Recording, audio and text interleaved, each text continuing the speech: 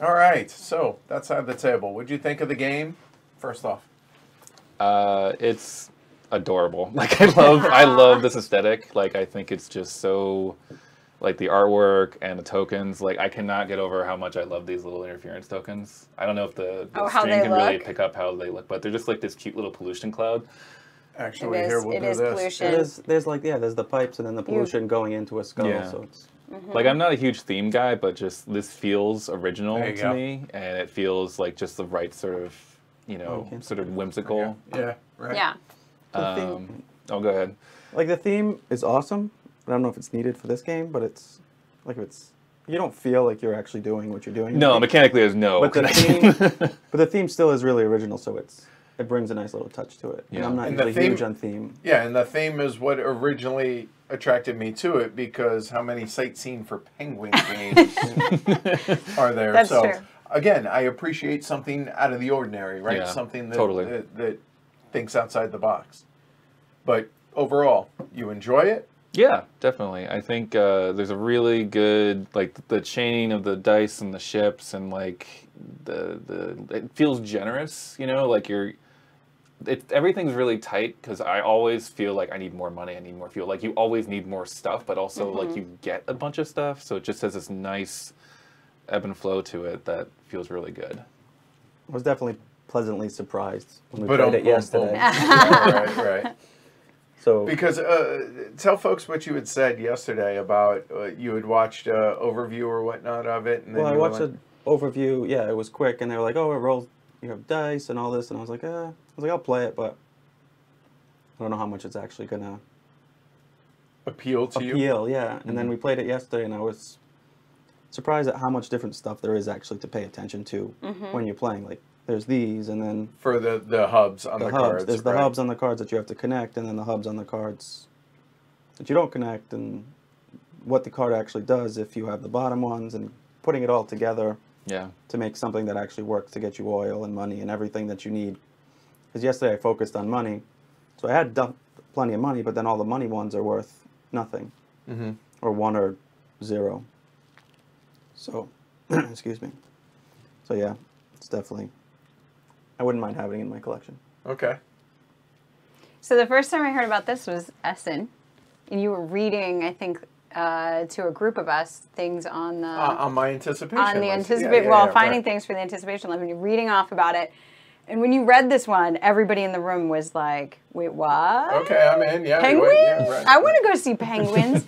so yeah, I think for this one, no, you don't feel like you're actually going on this No. sightseeing tour, but it does draw you into the game. And then there's cute little interludes where cards come out, and you're like, "Oh, that's that. I want that. That's adorable." So, and like you said, the pollution tokens, the fact that you're damaging um, Right. the ecology. I think that's great. So yeah, so the theme's fun, but it doesn't really bleed through the game. Um, that said, I, I hate when people see a game with dice and say, "Oh, it's completely random. This is not something I'm going to like." Sorry, Christopher. No, like, that's no, I hate it. Like because it, this and I- is dice drafting. Yeah, so you're first of all you're drafting it. So if I roll terribly, which I consistently do, you all suffer from that as Right. well. It's not just me. Um, so that doesn't feel bad at all. And plus, the way that they've balanced it, you can see the play testing involved in this where they really made sure that, okay, well, if you get stuck with low number die, you're going to have plenty of things to do. And if you have the high, there's still options as well. And then you can create this tableau that mitigates that. I did a poor job of that because I got one that gave me fuel, and I really should have balanced that out more. But I saw pretty penguins and shiny things and went for those. But there's ways to just change your strategy even during the game. You get different things um, out. I didn't know where I was going to go with it this time, but I got that ship discount. You guys were all like, "Oh, that's really good." I'm like, "Sure, we'll go for harbors," and that's A ton of points. points. yeah. I mean that But like the low dice are really useful Mm-hmm. For here, triggering actions, For right, getting right. the cards, you need the high dice. So Right. you you need to balance both. So none of them are really bad. Yeah. No. game. So Yeah. you need both. You need to balance if you're getting low, because in the lows you get to pick anything from here that you need. Mm-hmm. You get to trigger these things because these are usually lower. Some of them a little different, but then when you're bidding, you need the high cards. So you have to know what you're doing, and then draft for what you're doing the next round because you're like, oh, I want I need more cards, or you're like, now I need low cards to start trading because I took a bunch of ones and twos this last turn, so I could get the oils I needed Right. to move this forward. Yeah, there's always things you can do. And I think for a game that's as thinky as this, like we, there's brain burning moments where you're like, how do I chain this? You have to think multiple moves ahead or what's coming up for that end round, like mid game scoring. Like, so mm. there's lots you're trying to do at the same time. I'd worry that there'd be a huge experiential difference. Like, but I kind of don't feel like there is because there's all these cards coming out. You can look what I did over here. You guys are all into the goods. I was like, nah, no goods. I'm not going to go for the goods at all. Yeah. And I was really worried. At the end, I was like, that was a bad mistake. Why have I done such things? And yet, it didn't end up being the worst thing So ever. you have the three, the brown one that gave you three, so that's 9 and Mm-hmm. then you bought a bunch of harbors, so that's already 19, so that's 28 Yeah. points. Right. there. So as long as you find a Yeah. path and kind of go with that, you're you're okay. Like Yeah. you can you can do different things. You don't have to do what everybody else is doing. And something else that one of the folks in Peanut Gallery had mentioned that the artwork belies the decision making that's in the game. Because again, cute, cuddly penguins. Oh, this Yeah. is great. And you, well, there just wasn't a ton of chatter in this game as opposed to other streams that we've done. Just for the simple fact that, I mean, this is what we were. Yes. The majority of the game was this, um, and that helps people get it to the table. yes. On the flip side of that, though, it tricks people. So eh, I hesitate. Yeah, so I someone, know. I think someone it- buys it not knowing that it's going to be as heavy. They're like, this Right. game is awful. Like, right. I think it mitigates that a little bit with the like the first period feels less brain burny and it's sort of like a introduction to and then it, there's a big ramp up in the 2nd Fair period enough, but it's like yeah. at least you're sort of you're sort of getting into it a little gently And somebody in chat asks about the so BGG. Andrew said uh, 45 to 90 minutes is what they say, and here it is, four hours with the teach, which this seemed exceptionally long. It didn't 'cause this need to was- be this long. yeah. It didn't. Yeah. it was much faster last night when we played so. Yeah, it was two and a half So- hours with the full teach you last think, night. you think that's four players? Or it could be because every play that we've done prior to this has, Has been been three.